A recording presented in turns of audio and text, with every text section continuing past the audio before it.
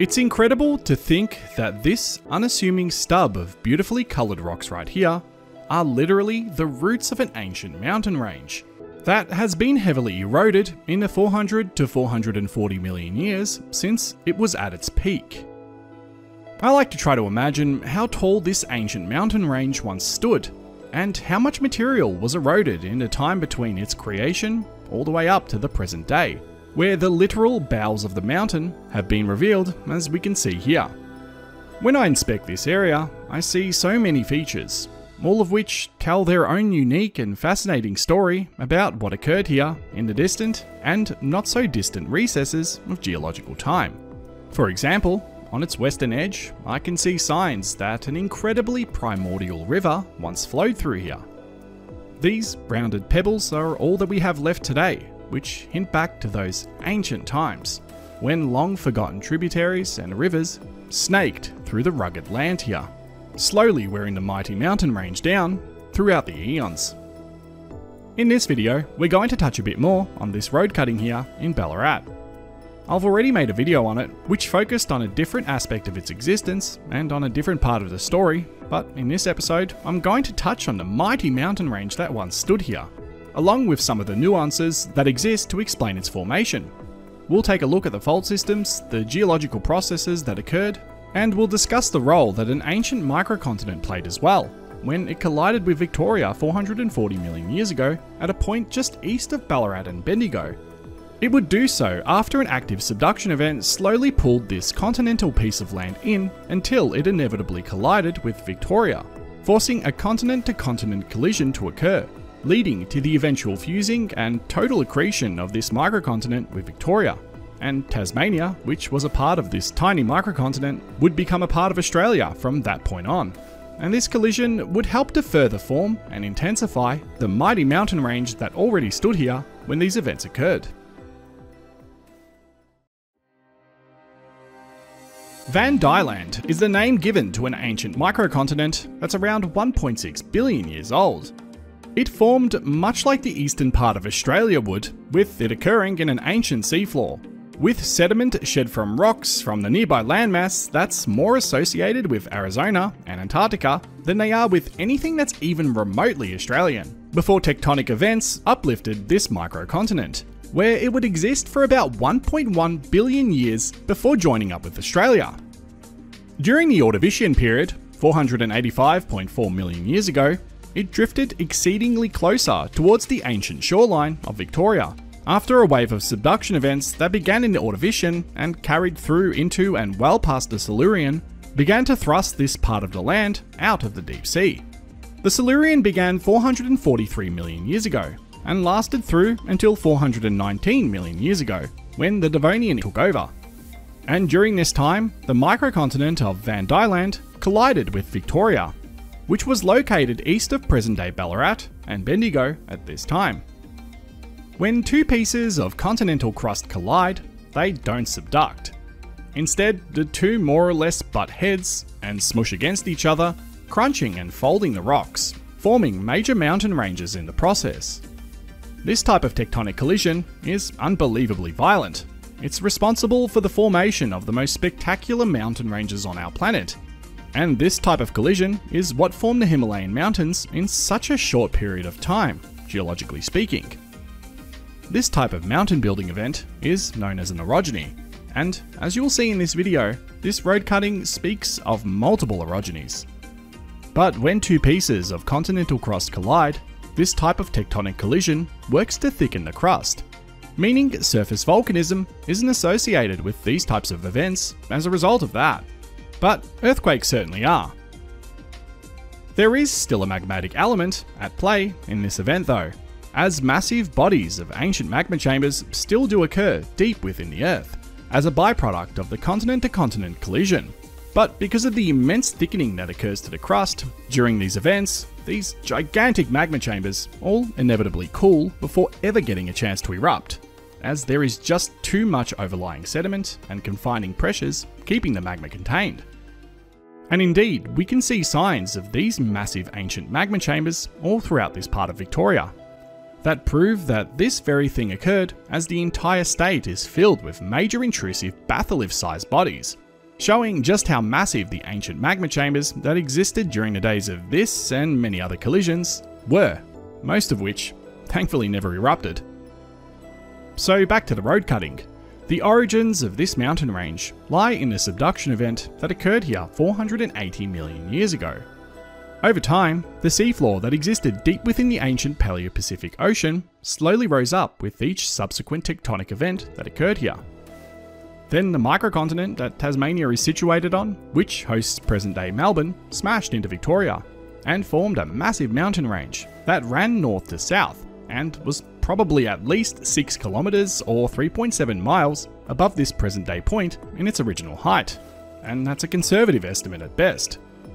It's no surprise that the Ballarat and Bendigo districts are so saturated with gold, when you consider the variable amounts of tectonic events that occurred here, from subduction to continental collisions to oroclines, the latter of which is something I still haven't touched on yet, but will in a future video very soon. Couple this with all the erosion that occurred here, and you can see why this is one of the richest gold provinces in the world. The faults created by these events are substantial, and the metamorphism that occurred here is what is ultimately responsible for the accumulation of gold that was shot up in a fluidic state alongside quartz, where it would percolate and eventually solidify in the many fractures and faults that existed in the overlying rock. But underneath this massive crustal thickening we also have the existence of something that's fascinated me for some time. And that's the occurrence of the inevitable volcanic arc that would have existed here during the original subduction events that occurred prior to the continent to continent collision. And I think I might have found some hints of its existence in some parts of the state, which is a topic I'm aiming to explore deeper in a future video, as it's never really been touched on, much to my surprise.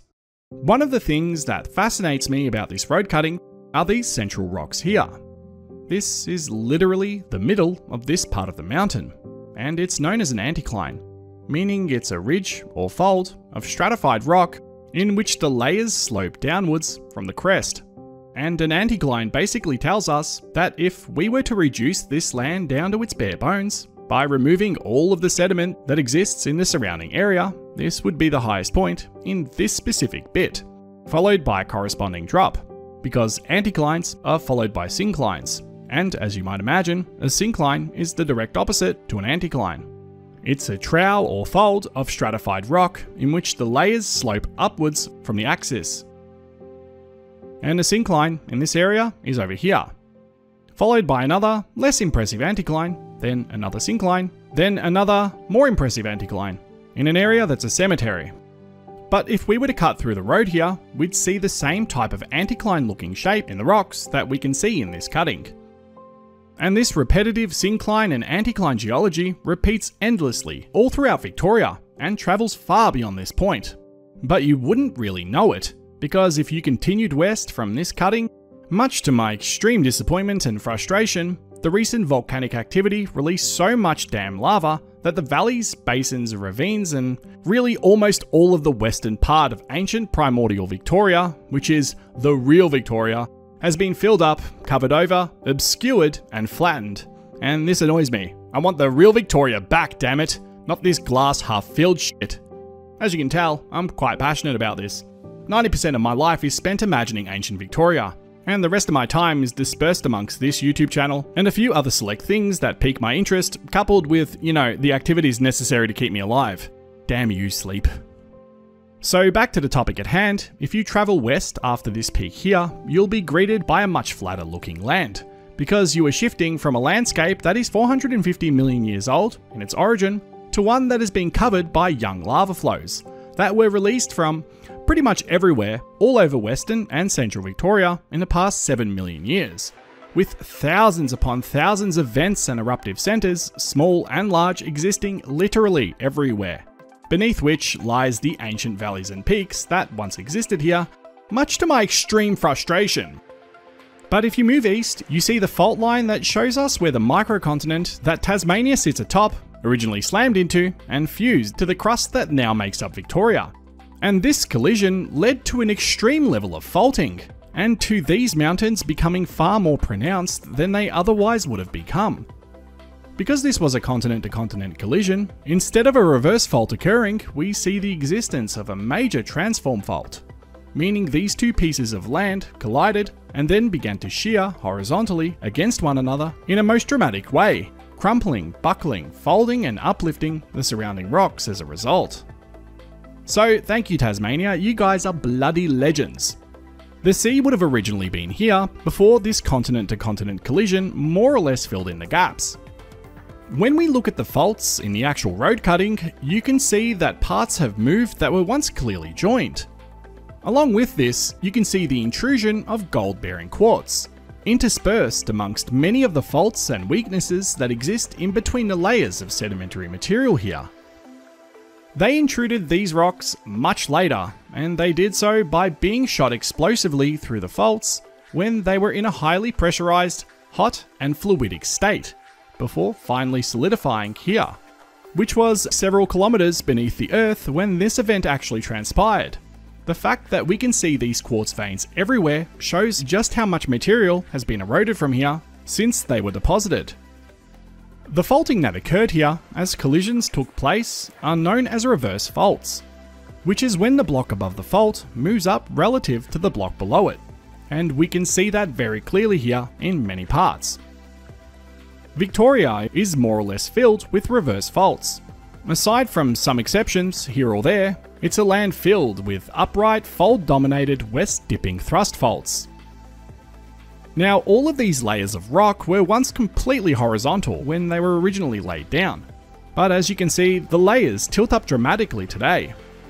It shows just how extreme the tectonic forces were, and during its height, this mountain range travelled all the way up to and past Bendigo. If we look east of here, we have more anticlines visible, including one that's present at the top of this part of the ancient mountain range, before dropping back into a syncline and finally peaking along the limits of the Brownhill Ranges. And as you can probably guess, the Brownhill Ranges are the stubs of this ancient mountain range. And the limits of where they begin is actually the spot where this ancient mountain range was constructed. And we can witness this in person by taking a look at this major reverse fault line here, which is a line where this mountain range was once at its highest, as I mentioned earlier on, the origins of this mountain range lie in the subduction events that originally uplifted this land. But when the collision with Tasmania occurred, the compressive stress really worked to thrust these mountains up, and it dramatically increased their height. This fault is one of many that mark the line of an ancient subduction event in Victoria. Before we wrap this video up, take a look at the many different sedimentary rock types here and the gorgeous vivid colours they display. It's quite amazing to me just how artistic simple sandstone, slate, mudstones and siltstones can be. But notice the metamorphic foliation that has occurred here. These bands and lines that we can see are foliation that occurred as a result of the regional metamorphic compression that's typical of areas where a mountain belt has formed, just like this one. These rocks develop a structure that reflects the direction that pressure was applied.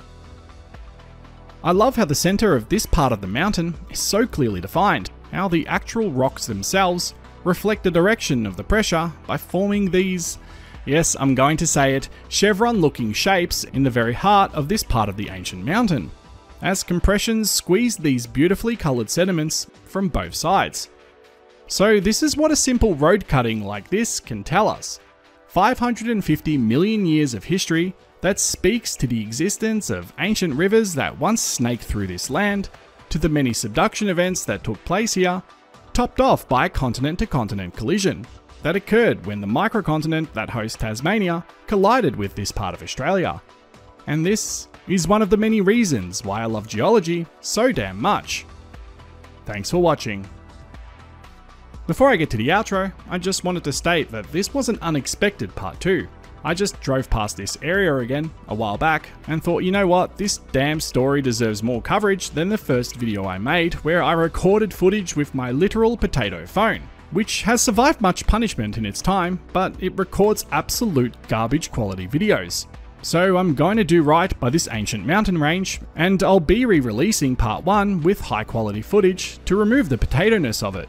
And I wanted to give you guys a heads up that I plan to release that as a standalone video, but I'll also combine both that and this video and release it as a separate compilation too, as I normally do.